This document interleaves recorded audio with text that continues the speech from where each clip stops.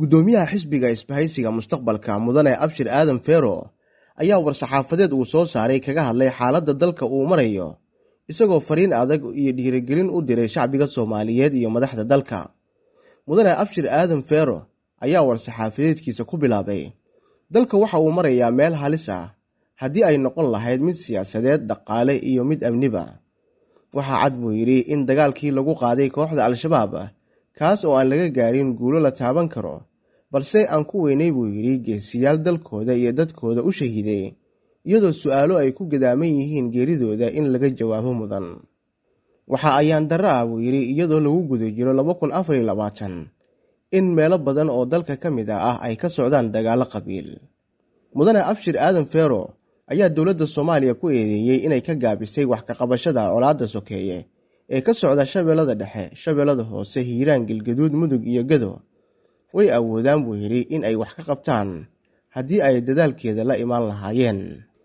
Mar uu ka hadlayey mudane abshir feero xaaladda dhaqaale ee dadka soomaaliyeed ay ku sugan yihiin ayuu sheegay in dadka ay u qaybsameen labo kow in yar oo xoolihii dowladda ku nool dabaqadda sarena fuushay labo iyo kuwo aan awoodin waxay afka gashtaan dowladda ayuu mudane abshir feero tilmaamay in deeqaha ay hesho u adeegsadaan dano guracan mudane abshir aadan feero oo sii wata hadalkiisa ayaa fariin wacyigelina u diray shacbiga soomaaliyeed isagoo leh waxaad mooddaa garasho xumo ama aaminaad fikirkii isticmaarka salka ku leh in ay nagu qasbayso in aan wax qabsan weynay kana doorbidnay gacan hoorsi shisheeye. Laysma weydiinin sidii gaajada iyo faqriga looga bixi lahaa intii tabar iyo talo meel la isugu geeyo loogu istaagi lahaa sidii wax loo qabsan lahaa.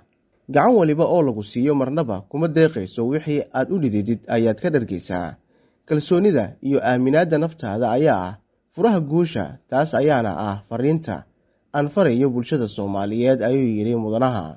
Aan u soo jeedsana buu yidhi danta dadka iyo dalka iskana ilowno indhahan aan u taagayno dalalka shisheeye. Guntiga waa inaan u xiranno wax soo saarka dalkeena si aan gacan hoorsiga uga baxno. Wadajir iyo midnimo ayaa guusha horseed u ah soomaaliye. Haddii aanan la imaanin taasna halkaa aan fadhinno maanta ka istaagi mayno ayuu yidhi. Waxaan baaqiga ku soo gebagabeynaa buu yidhi. Dowladdu waa inay maqashaa baahida dadkeeda iyo dalkeeda. Bulshaduna waa inay raadsadaan xuquuqda dowladdooda ay ku leeyihiin.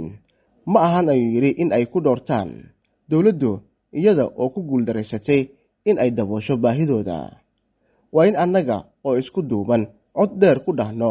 Dulqaadkii waa naga dhammaaday ama waxqabad la imaada ama wakhtiga ha ku luuminina shacbiga duruufaysan ee kuraasta u banneeya taasi waa mid xaq loo leeyahay.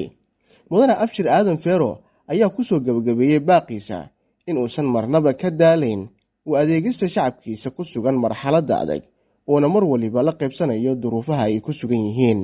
Xisbiga isbahaysiga mustaqbalka ee aan hoggaanka u ahay buu yidhi mar waliba waxa uu diyaar u yahay sidii uu soomaaliya halka ay taalo.